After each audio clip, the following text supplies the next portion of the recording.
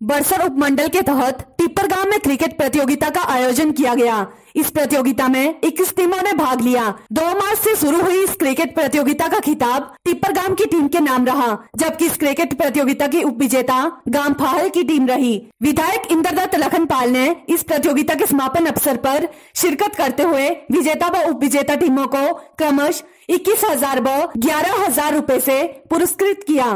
Cricket प्रतियोगिता के आयोजक केवल धीमान ने बताया कि इस प्रकार के आयोजनों से ग्रामीण प्रतिभाओं को आगे आने का अवसर मिलता है। पीएलटीवी के लिए हमीरपुर से ब्यूरो रिपोर्ट।